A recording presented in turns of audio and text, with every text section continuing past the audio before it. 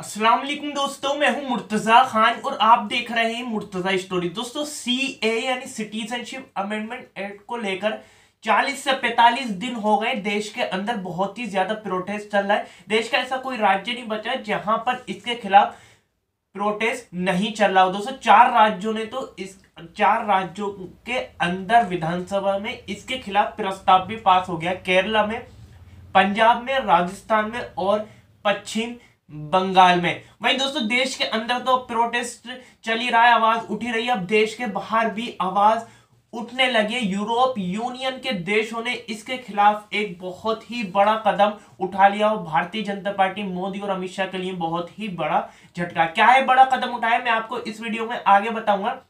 उससे पहले मैं आपसे कहना चाहूँगा आप भी सीए और एनआरसी का विरोध करते हैं तो इस वीडियो को आप ज़रूर लाइक कर दिए। अगर आप चैनल पर नए हैं तो चैनल को ज़रूर सब्सक्राइब और बेल आइकन को दबा दिए ताकि मैं जब भी नई वीडियो लेकर आऊँगा दोस्तों आपको पता चल जाएगा।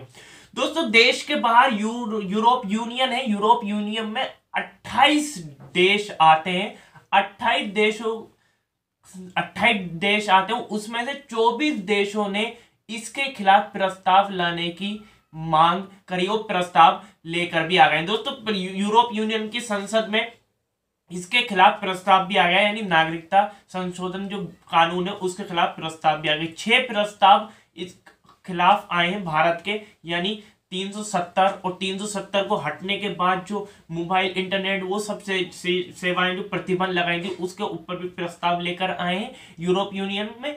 और वहीं दोस्तों जो नागरिकता कानून जो है इसको जो संविधान के खिलाफ बताया जा रहा है आर्टिकल 14 के खिलाफ और आर्टिकल 15 के जो उल्लंघन कर रहा है नागरिकता कानून उसके खिलाफ यूरोप यूनियन में जो चौबीस अट्ठाईस देश है उसमें से चौबीस देशों ने इसकी मांग करी है।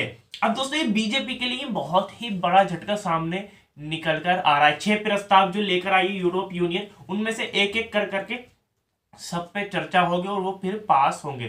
दोस्तों, अगर पास होते हैं तो भारत के लिए बहुत ही बड़ा झटका लगता हुआ झटका लगेगा। तो चलिए दोस्तों, आप नीचे कमेंट बॉक्स में बताइए, आपके सोचते हैं यूरोप यूनियन के 28 देशों में चौबीस देशों ने जो इसके खिलाफ जो प्रस्ताव लाने की मांग करी है, उस पर आपकी क्या प्रतिक्रिया, आप नीचे कमेंट बॉक्स में अपनी राय ज़रूर बताइए। चैनल पर अगर आप नए चैनल को ज़रूर सब्सक्राइब और बेलाइकन को दबा दिए ताकि मैं जब भी नई वीडियो लेकर आऊँगा तो आपको पता चल जाएगा। चलिए, इस वीडियो में इतना ही। असलम